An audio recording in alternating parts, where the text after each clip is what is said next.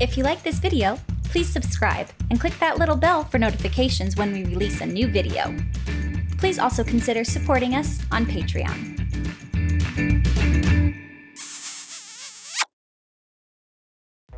My friends, welcome to Pull My Focus Adventures in the World of Digital Filmmaking, where we bring you the best inside tips on making great digital films and videos. We've recently hit a milestone of over 10,000 subscribers.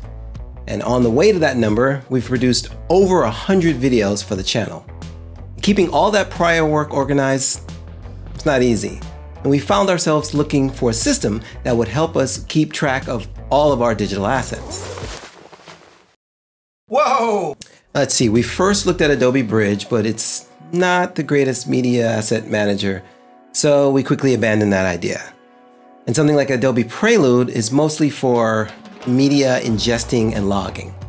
And then we found Kyno.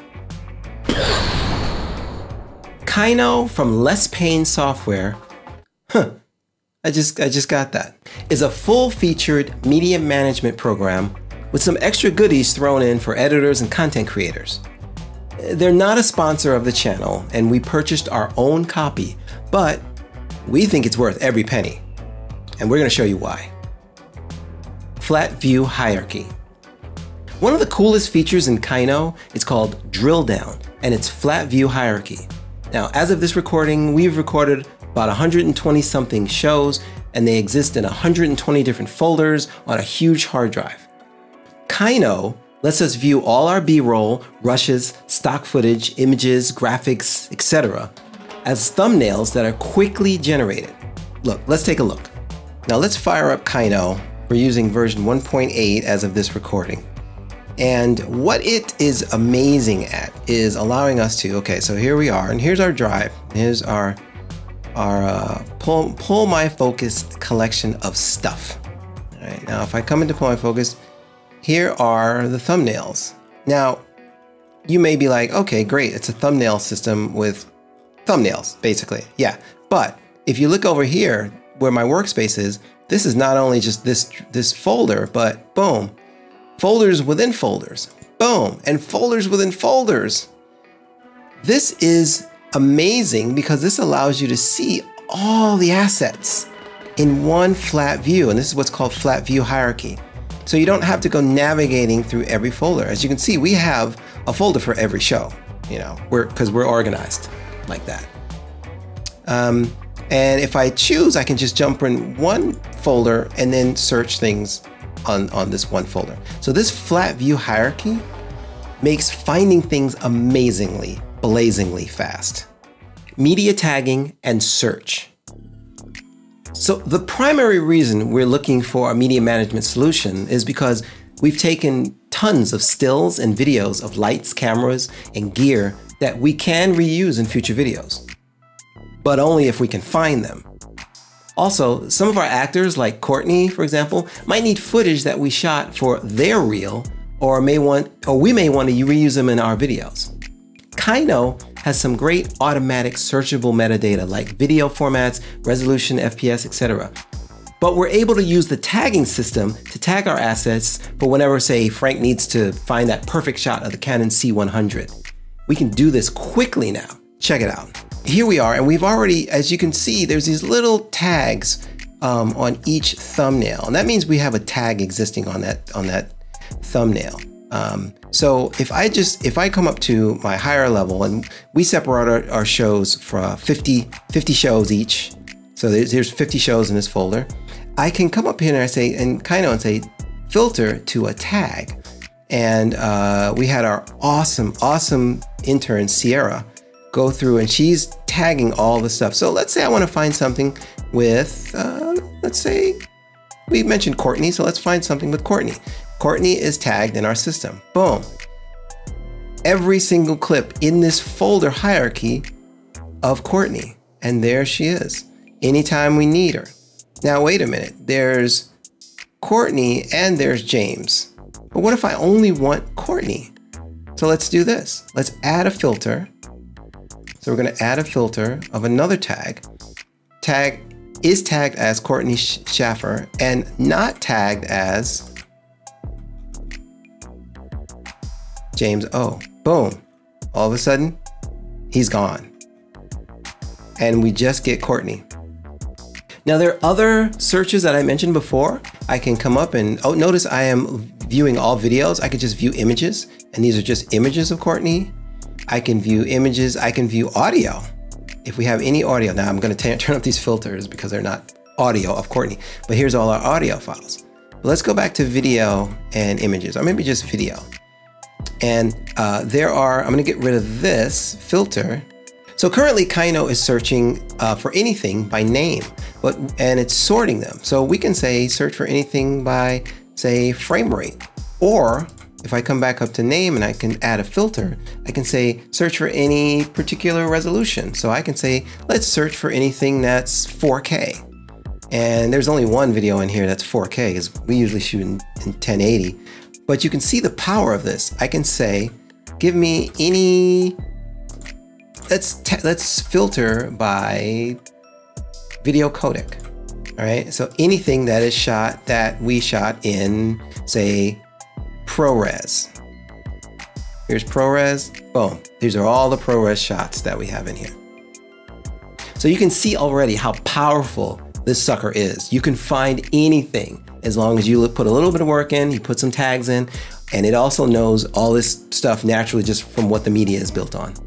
Built-in media viewer. Kyno has a very powerful built-in media viewer.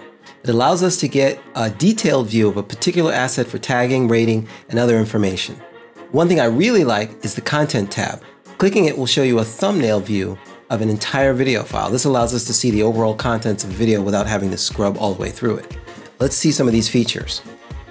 So here we are, and if I double click this file, or if I go to this view here, the single uh, kind of single image view, now I can scrub through this video format, and it supports tons of video formats. I don't think I've I don't think I've hit a video format that it didn't recognize. Um, so now what I can do is I can come over to here. Now, if I don't want to scrub through this guy and see what's there, I can just hit the content tab. The content tab will show me a thumbnail view of everything that's inside this, uh, that's in this clip. It's a nice overall glance at it without having to press play and find out. So if you're searching for a particular actor and that actor doesn't show up until later in the scene, you can use this content view and you'll see a thumbnail of an actor. Um, there are also subclips and tracks, uh, track information um, uh, we'll look at subclips in a minute, but this is super powerful. This allows us to quickly get through um, our footage if we have to have a, have a more detailed view. Media transcoding and subclips.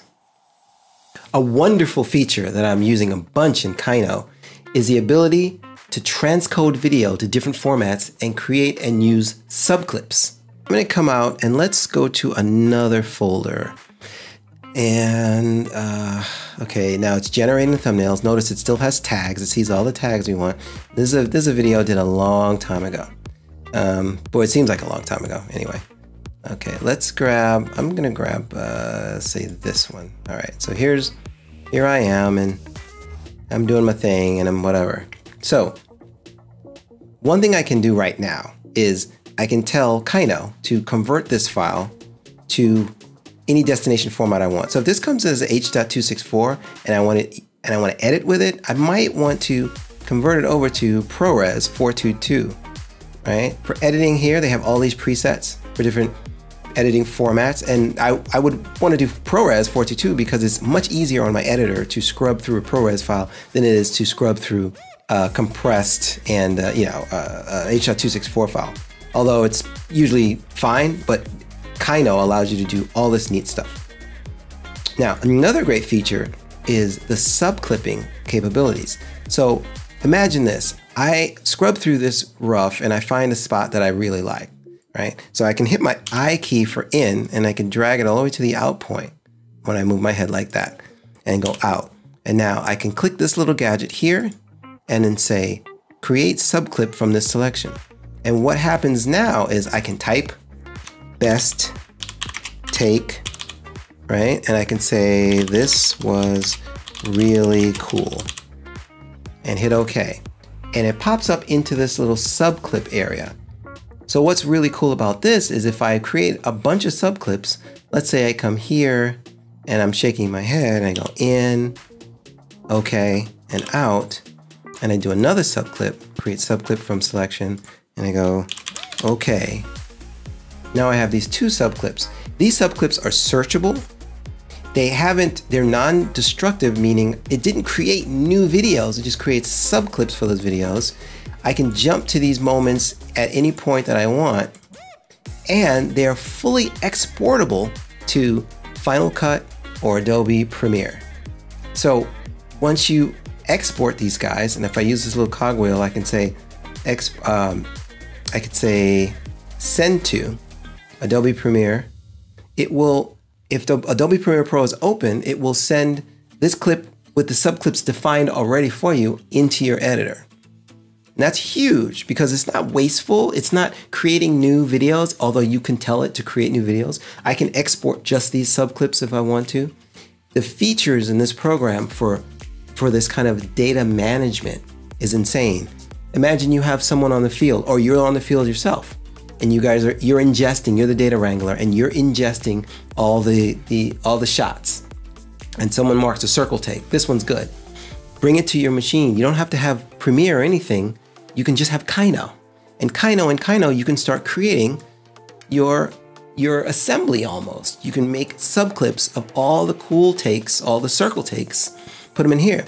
Oh, and one other feature that I absolutely love is the ability to turn on, view, camera LUT.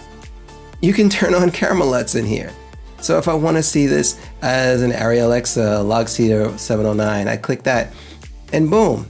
So if you're on the field once again and say your producer is there and they're like, we want to see how it's going to look and you're shooting flat footage, you can just load a LUT into here and say, this is how it will look. And you can play it for them.